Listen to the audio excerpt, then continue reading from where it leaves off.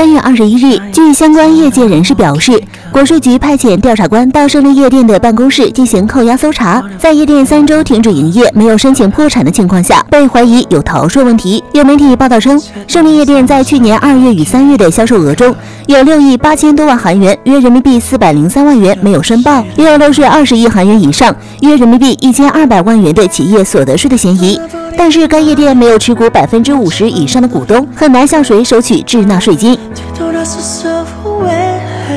非凡娱乐实时报道。